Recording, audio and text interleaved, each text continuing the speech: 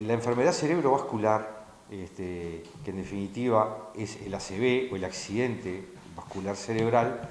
eh, es una entidad que eh, eh, en el mundo tiene un papel preponderante en la morbimortalidad. En nuestro país es la segunda causa de muerte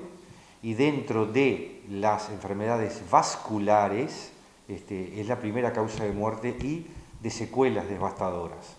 de todo tipo. Eh, además, es una enfermedad que también puede llevar a eh, otro tipo de complicaciones, como las secuelas, sobre todo en la parte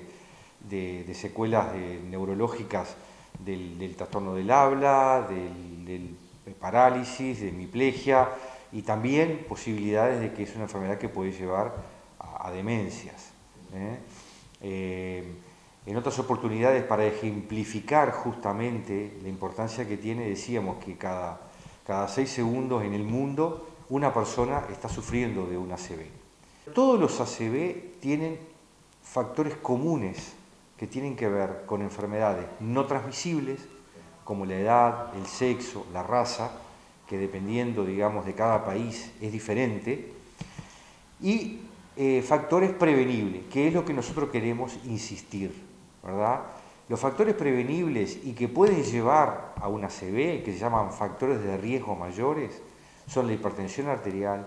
el tabaquismo, los trastornos de los componentes de las grasas de la sangre,